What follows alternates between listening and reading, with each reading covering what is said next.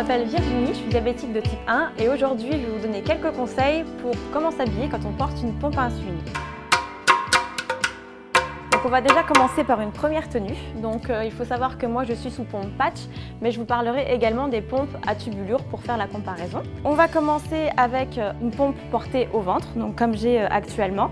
Donc moi je cherche à avoir un haut plutôt fluide pour pouvoir la camoufler. Donc en la blousant avec bah, son pantalon, voilà, en la rentrant dans le pantalon et en la blousant un peu pour donner un effet de volume au niveau du ventre pour que ça camoufle la pompe. Vous voyez par exemple là on y voit que du feu. Donc là c'est pour la pompe patch. Et pour une pompe à tubulure, par exemple, donc soit dans la poche, mais là, bah, ça risque d'être visible. Sinon, vous avez la solution de le mettre dans le soutien-gorge, donc de le glisser à l'avant, ou bien de le mettre avec une pince euh, sur le côté. Alors du coup, je vous ai montré cette première tenue. Je vais aller me changer et je vous montre un autre endroit. Alors là, je me suis changée pour vous montrer ma pompe patch placée au niveau du bras. Donc voilà, on voit là qu'elle est bien visible.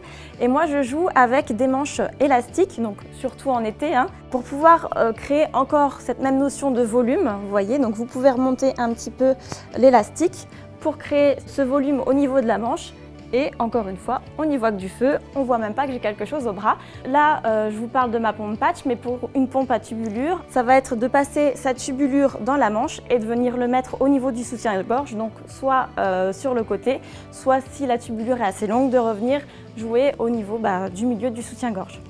Donc voilà, c'était mes petites astuces au niveau du bras et donc euh, je vais vous montrer maintenant une dernière position que moi j'utilise assez régulièrement.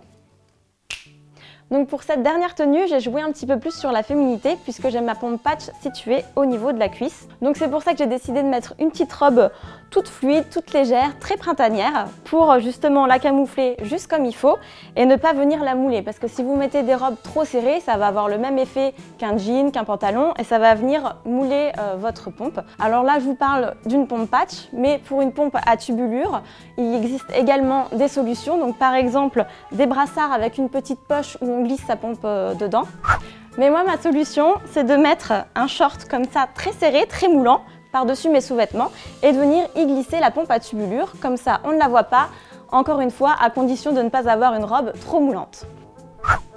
Alors, ce qui est bien également avec une robe de ce style, c'est qu'on peut positionner sa pompe n'importe où et on ne la verra pas. Par exemple, au niveau du ventre, vous venez jouer avec une ceinture comme j'ai fait là, vous la positionnez juste au-dessus de votre pompe patch, comme ça, elle est même calée et en plus, on ne la voit pas du tout.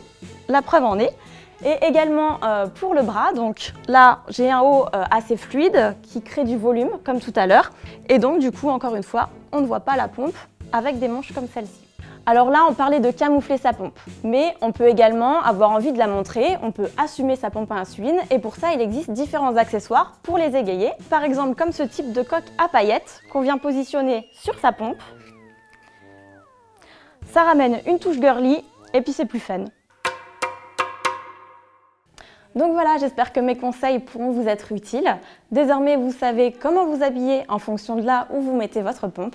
Et donc vous voyez comme quoi, même quand on est diabétique et qu'on porte une pompe, eh ben on peut rester féminine.